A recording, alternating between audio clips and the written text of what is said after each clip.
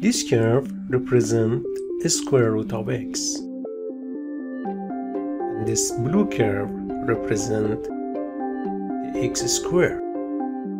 The area confined between two curves can be calculated.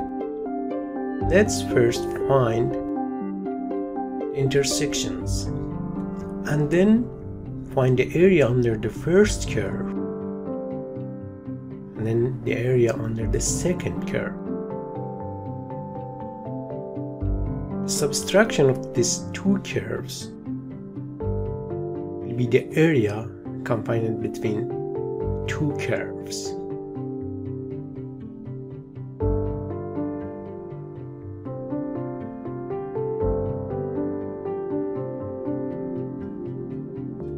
Finding the intersections for two curves,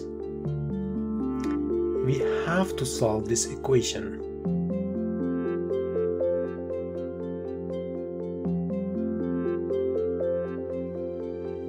The first or second term must be equal to 0.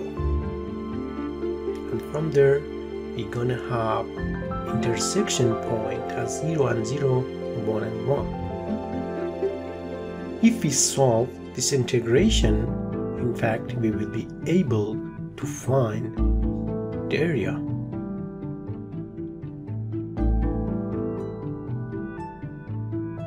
Solving integration, we came up with 1 over 3.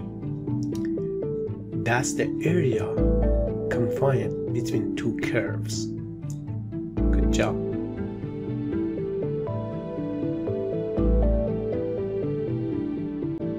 Thanks for watching PyBee TV. Please subscribe. Thank you.